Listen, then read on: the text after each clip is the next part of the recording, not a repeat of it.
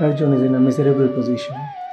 That is not the position of Arjun, the person. That is the situation of entire mankind. That is the conflict that we all face daily, every day. So, first of all, it is not about Arjun and Krishna. It is not about two persons. Arjun and Krishna are both within us.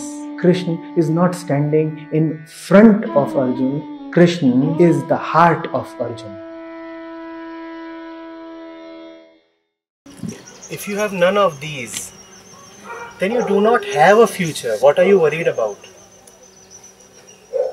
If you have no money, no wife, or a very small family, or very little material at your possession, then do you have a future? what is meant by future? Something that carries forward from today into tomorrow. You have so little that is carrying forward. You don't have any worries. What are you worried about? Those who have a lot have to exist till tomorrow to protect what they have. They not only have stuff, they also have worries related to stuff. The one who has nothing has nothing to care about, nothing to worry about. Or are you just worrying in imitation of others? Because it is fashionable to worry, so let me worry as well. You are free, you are blessed.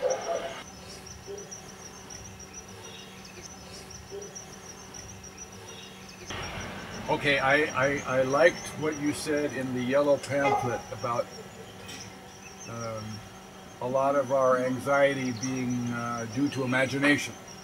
So that was good. Uh, And even imagination requires stuff. You cannot imagine with nothing at the center. That which you are, the true self, is not a thing, is not material, so it cannot be at the center of imaginative worries or worried imagination.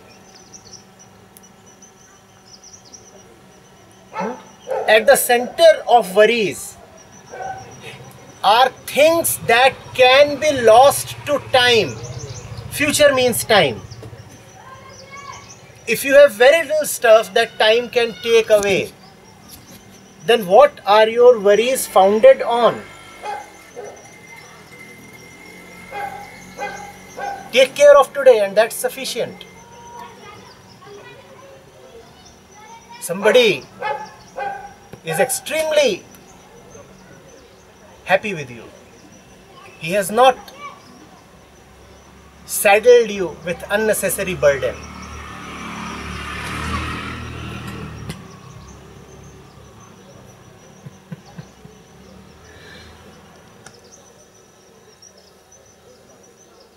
Usually it's the other way around. People who have a lot, they come to me talking about how what they have is now clinging to them. Which is the other way around always. They are clinging to what they supposedly have. But they would say, We have a lot, and now there is a lot of clinging and a lot of concern about security and future.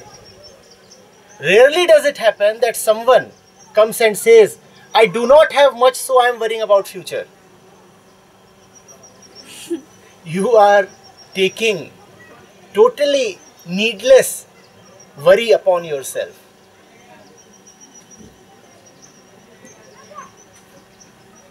Roam like a child upon the earth, wander free, fly without a bother.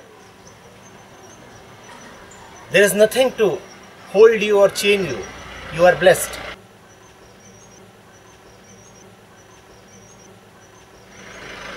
Hmm?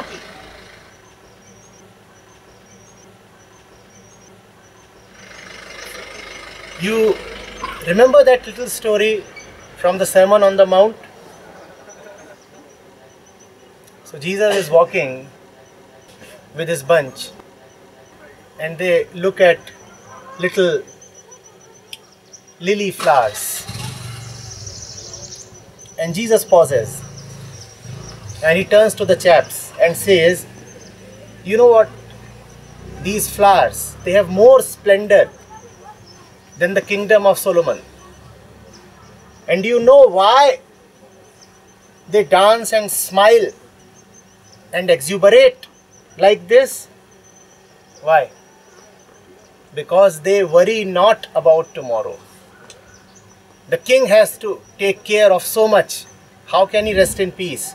These flowers, they delight in their little present. And the fact of their life is that they won't be there tomorrow. A flower is such a delicate thing. Everything that is beautiful is also delicate. What do you want to be? A rock that lasts through time, but it's just a rock. Hmm? Not dancing, not smiling, not getting wet in the rains. Or a flower that lives a couple of hours, or a couple of days, or a couple of weeks, and really lives. How do you want it to be? You have choice. I know that I have a power to just stop this imagination or shift, turn my attention to You have the power to stop this imagination. My wonder is how do you imagine when you really do not have even material stuff to found your imagination upon? If I have 20 cars, I have material stuff.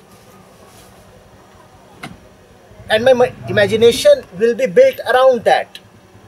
I have something on which to weave my dreams. If you don't have 20 cars, what are you imagining about? Others' cars? You're worried about their future? The future of the planet Earth? The future of the species going extinct? What is it that bothers you? Are you asking me? Of course, because you are worried. Uh, oh, I, can, I, I only want to say that my imagination is powerful. I can dream up. Can Yes, dream but up you anything. must question the center, the stuff of imagination. Does it really exist? Does it really exist? And how can we do that, sir? By asking, does it really exist? You see, So you it was declared hmm, that the kingdom is being attacked by a hostile army. And the beggar got a cardiac arrest. He said, Now all my riches would be plundered away.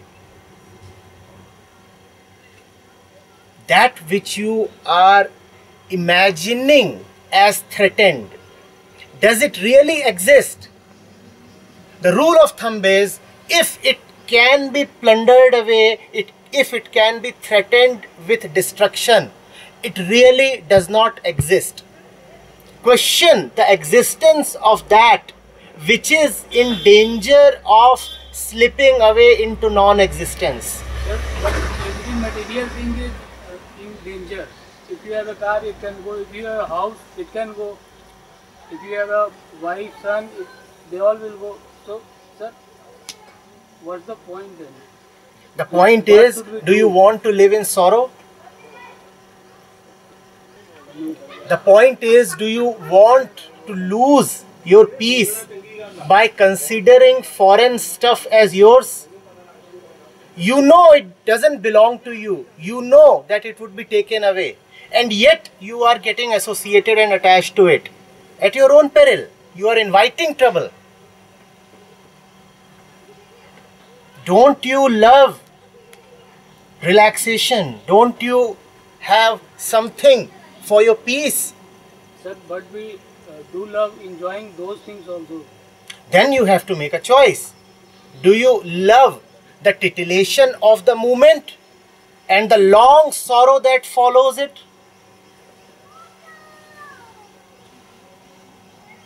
The sorrow may follow or may not follow. You have to decide is it there or not, and you have to be very forthright and honest about it. Spirituality is only for those who are fed up of their sorrow. If you are still uncertain about sorrow, then you need to experience more sorrow. That's your punishment. Spirituality begins when you say, Enough of it.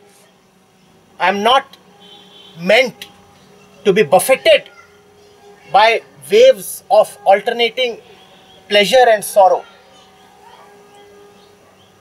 Hmm? One has to be totally fed up. If still a green corner exists in your mind, if you still have uncertainty about whether or not you are living rightly, then you won't be able to go through the exacting spiritual discipline hmm, that liberation demands. Then you will start and lose your way. The question is do you eat the bread that you have in front of you today? Or today do you consume bread a week in advance? How much can you eat today? How much can you eat today? And you require only as much as you want to eat today. If you have more food, you will have to just carry it along. It may even get stale. Who knows? Getting it? Are we really worried about basic material sustenance? If that be the case, kindly go ahead and slog.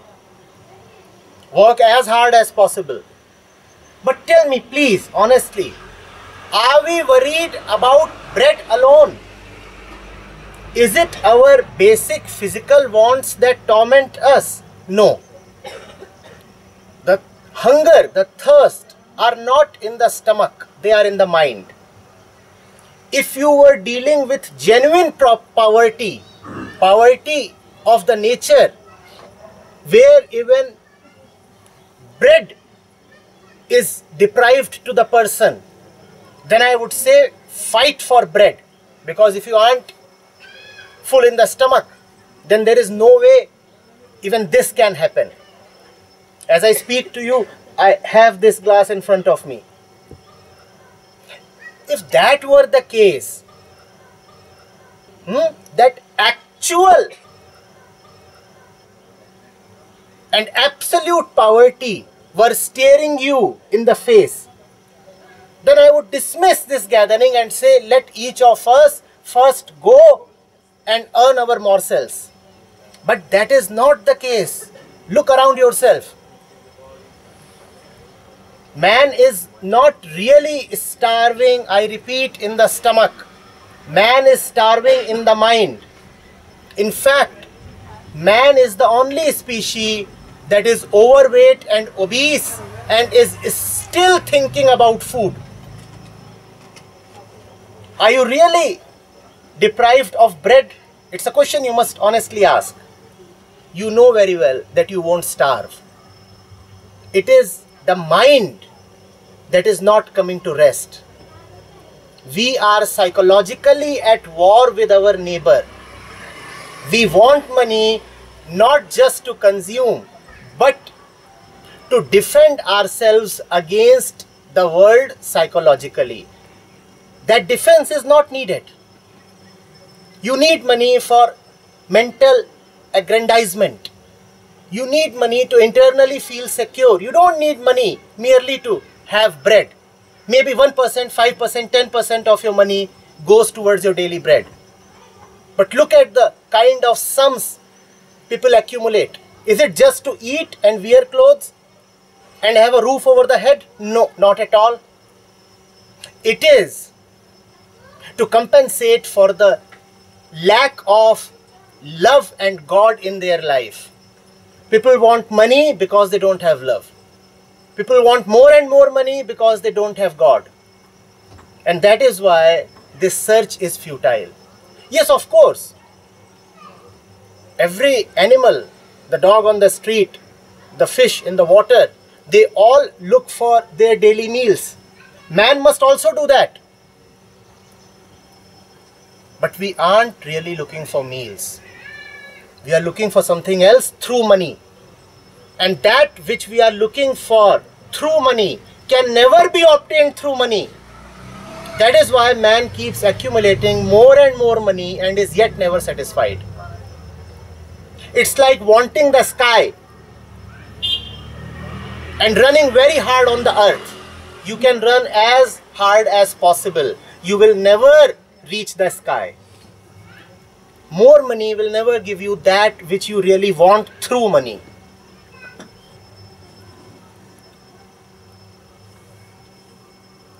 You see, mankind as a whole today is more prosperous than it has been ever in its history. And I'm not talking about only the developed countries. Except for a handful of places on the earth, nowhere is man starving. And man's wealth as an aggregate is only growing continuously. We were never as well fed as we are today. We never had as much social security as we have today. The quantum of material that man has today, he never, never had before. And yet, man is mentally starved. So I can say from my own experience, even just coming to India, in, only in the last few days, I have been making progress in recognizing when my imagination is running.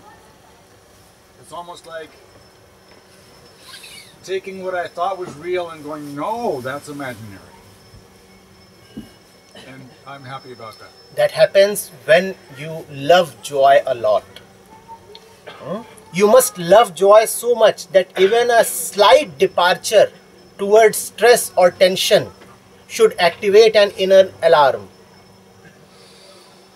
All these imaginations that take you away from your natural joy. The moment they arise, you must start feeling restless. You must start feeling as if distanced from your own soul, as if you are getting divorced from your love. And then you must quickly return. You must say, ah, no, I don't want this. We must love ourselves a lot. Only then will we disallow our support to our own suffering. We support our suffering so much. How will anything else ever come to us? Don't you think imaginings lead to creation? No, not at all. Because you can imagine only within the stuff of the known. Your imagination can never go into the unknowable possibilities of life. Can you imagine yourself if you are an English speaker? Can you imagine yourself speaking Sanskrit? I can imagine. You can't. No, Tell me what are you imagining? What are you saying in Sanskrit? Well, what I'm, I'm, I'm thinking about imagining a plane. This is not. I'm not talking of plane. I'm saying when you imagine, you imagine within the limitations of the known. Imaginations, intuitions, dreams, they all base themselves only upon that which is already known to you. But creativity is based on what is known. Creativity is a leap into the unknown. If it is based on the known, it is not creativity, it is merely a reconfiguration. It, yes, it's a reconfiguration. And reconfigurations won't help. Reconfiguration is like getting a new haircut, hairstyle. Will it change the interiors? Creativity is when a lot arises from nowhere. Creativity is when something springs up without a past